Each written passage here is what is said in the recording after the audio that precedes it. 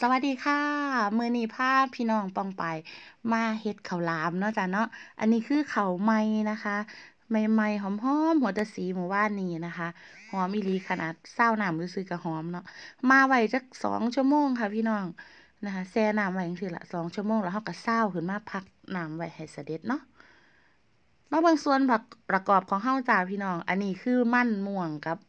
มันสมนะคะสมโอกินาวากับม่วง Purple Sweet นะคะ เป็นยอดมันหวานญี่ปุ่นที่เราปลูกไว้ในสวนนั่นแหละแต่ว่ามันก็กลายพันธุ์แน่แล้วล่ะรสชาติก็ยังหวานอยู่หวานกว่ามันแก้วบานเราอยู่จ้าแล้วสีมันก็งามเนาะเอาสีมัน อันนี้ข้าวโพดราชินีทับทิมสยามจ้าปลูกเอง สดๆจากสวนเราคือกันนี่แหละนะคะเดี๋ยวเราเอาทุกสิ่งทุกอย่างมาผสมกันเนาะเดี๋ยวใส่ข้าวโพดก่อนเทลงไปเลยจ้าผสมลงไปแล้วเราก็คนดีๆ เนาะให้มันเข้ากันแล้วเวลาอ่าตัวข้าวโพดน่ะจ้าเวลามันมาถึกอันความชื้นในเขาในในเม็ดเขาที่เราซาวน้ำไว้นี่สีสีเขาจะออกจ้าเฮ็ดให้ข้าออกสีม่วงๆนะคะ หรือว่าพี่น้องมีธัญพืชอย่างอื่นจะใส่ก็ได้ด้จ้าอย่างเช่น พวกถั่วดำถั่วแดงนะคะเอ่อพวกเผือกมันอิหยังต่างๆ ใส่ได้จ้าแต่ว่ามื้อนี้บ่ได้เตรียมบ่ได้หาเนาะเอาของที่มี สูตรนี้ถ้าเป็นสูตรโบราณอีหลีของที่ย่ายพาเฮ็ดน่ะคือย่ายสิพาใส่ถั่วดำกับถั่วแดงจ้ากับน้ำตาลเท่านั้นล่ะกะทิน้ำแต่ว่ามือนี้ก็พลิกแพงสูตรจักหน่อยบ่เคยเฮ็ดมาก่อนนะคะข้าวหลามเป็นอิหยังที่บ่เคยเฮ็ดมาก่อนในชีวิตจะลองเฮ็ดเบิ่งเนาะนี่ละจ้าเอาส่วนผสมที่เรามีเนี่ยเตรียมมาเนี่ยละใส่ลงไป แล้วก็ใส่น้ำตาลพร้อมมักหวานหลายใส่หลายจ้าความหวานเนี่ย แล้วแต่เราเนาะแต่ว่าอันนี้สิบ่ใส่หลายเพราะว่าความหวานของมันหวานกับข้าวโพดหวานนี่มันก็หวานอยู่แล้วนะคะ อย่าลืมใส่เกลือด้อพี่น้องเด้อให้รสชาติมันออกเค็มๆมันๆนะนั่นล่ะบัดนี้คลุกเคล้าให้เข้ากันนะคะคลุกเคล้าให้เข้ากันเลยนี่มีหยังก็ใส่ลงไปนะบัดที่นี้ใส่แล้วเดี๋ยวเราจะเอาไปใส่ในกระบอกไม้ไผ่อยู่หน้าจ้าพ่อสิตัดกระบอกไม้ไผ่ให้เนาะ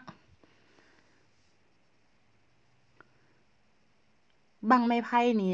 ใส่ได้ เอ่อ ปกติเพิ่นจะใส่ไม้ไผ่เปาะจ้ามันจั่งมีเหยื่อ แต่ว่าไผ่เปาะมันอยู่เทิงภูเนาะ อันนี้เราเอาไม้ไผ่อยู่นาจ้า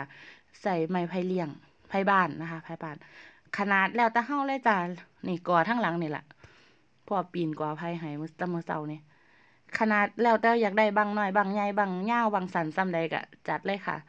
ตามแต่ความต้องการ ตามความสะดวกเนาะ บ่มีแนวยากพี่น้อง เฮ็ดง่ายๆ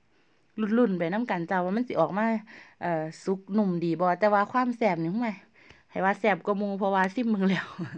แซ่บอีลีนะคะ ตัดไปตัดมาได้7บั้งจ้าได้7บั้งเนาะเดี๋ยวเราสิมากรอกเขาใส่ลงไปในบังข้าวหลาม ซอยกันเนาะให้น้องเค้กกรอกซอยนะน้องเค้กก็ตื่นเต้นหลาย บอกว่าสิพาเฮ็ดว้าไว้ตั้งแต่วันอังคารนะคะเทินท่าวันเสาร์ฮอดวันเสาร์แล้วพนสิมาซอยเอื้อยเฮ็ดข้าวหลาม นะคะ เดี๋ยวเรามากรอกกันเลยจ้า นี่เขาที่เราเตรียมไว้ เห็นบ่พี่น้องนะมันเริ่มเป็นสีม่วงแน่แล้วเดะนะคะ เริ่มเป็นสีม่วงแน่แล้วก็สามารถให้เด็กน้อยเฮ็ดได้จ้า เพราะว่ามันบ่ได้อันตรายอิหยังก็ถ้ามีของมีคมหรือว่าฟื้นไฟจั่งซี้ก็ให้อยู่ในความดูแลของผู้ใหญ่ผู้ปกครองจังซี้น่ะคะใครก็ให้เขาเล่นเกมเนาะนี่น้องเค้กมักหลายคันพาเฮ็ดของกิน ตักใส่เลยจ้าเวลาใส่เราใส่กะว่ายาเต็มจ้าจงไว้จักเอ่อ แบ่งกระบอกออกเป็น4ส่วนเราก็ใส่ลงไปจัก3ส่วน ส่วนหนึ่งเอาไว้ถ้ายามหนั้นเราเทน้ำกะทิ แล้วก็เอาแนวมาปิดพู้นน่ะเห็นบ่าเม็ดเขาเรียงด้วยสวยดีๆเปลี่ยนสีพร้อมฝาปิดของเราบางคน เอ่อ เขาก็เอากาบักพร้าวค่ะขุยบักพร้าวขุยเปลือกบักพร้าวน่ะบางคนก็เอา ใบตองใบเตยอิหยังก็ได้ค่ะที่สามารถม้วนๆแล้วก็ยัดปิดไว้ได้เนาะกรอกเสร็จแล้วเราก็มาใส่กะทิจานี่แหละใส่กะทิแบบนี้เลยหยอดลงไปมื้อเช้านี้ฟ้าวหลายบ่มีเวลาขูดบักพร้าวใส่กะทิกระป๋องจ้าแซ่บคือกันเนาะนี่ใส่ลงไปประมาณนี้จ้าให้มันปริ่มๆกับเขานะคะโผล่ขึ้นมาจักหน่อยเนาะยายอ้วนใส่หล่นแน่จักหน่อยนี่จ้าใส่ลงไปแบบนี้เลย ขามันก็สิหอม เวลาเราเผาหน่ะจ้ามันสิหอมบังไม้ไผ่สดๆ แล้วก็กินไม้ไผ่แหมพี่น้องเคยถูกกินบ่ไม้ไผ่สดๆเผาไฟน่ะหอมอีหลีเดะหอมจักสิเทียบใส่หยังแล้วมันเป็นหอมกินหอมธรรมชาติ แมนแท้มาถือกระซุ่มกะทิซุ่มน้ำตาลสิโอ๊ยบ่อยากพากนี่ละจ้าใส่แบบนี้ล่ะใส่เข้าไปเลย เดี๋ยวเฮาปิดฝาแล้วสิเอาไปเผาเนาะค่ะเนาะ ของเฮาก็ใส่กะทิลงไปเรียบร้อย ต่อไปเฮาจะปิดฝาเนาะ เอาเอาเอาเอาเอาเอาอันหยังนั่นอันหยังโอ้ยแอบซิมกะทิแซ่บปะหวานมันเนาะ โอเคค่ะ